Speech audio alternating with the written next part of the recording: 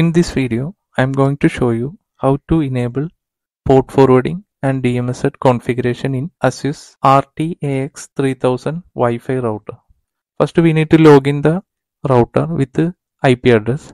For finding the IP address, if we are connected with Wi-Fi or network, we can select the network adapter and then press the details.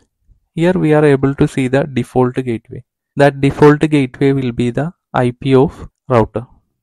I need to enter the IP in browser, then enter the login credentials. Default login is admin admin. The first time of configuration, we had to set the username and password for this system. Here I am using admin. The password is I changed to password.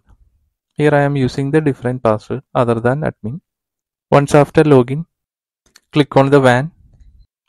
Here we are able to see virtual ports or port forwarding and then enable the port forwarding. Once after enabling the port forwarding, we need to add the profile. Here we are able to see single click port forwarding options for port forwarding the FTP, TFTP options. But I am not choosing that one. I am creating a custom port forwarding. For this purpose, we need to enter a service name, then select the protocol. If it is TCP, we can use TCP. If it is UDP, we can choose UDP or both UDP and TCP we can use. Then enter the external port. If you want to use a range of port, we can select the range of port here. Enter the external port range. If you want to use the external port range, we can use the external port range. If you want to use single port, we can enter the single port only. Here I am using only single port and then enter the internal port. The same port I am using for internal access. Then enter the internal server IP address. Here I am using 192.168.50.2. Then enter the source IP.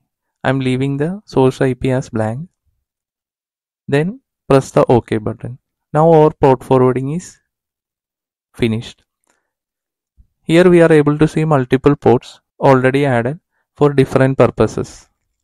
If you want to delete any of the port forwarding policy, we can press the delete button on the corresponding policy. If you want to disable completely the port forwarding, we can disable the port forwarding directly.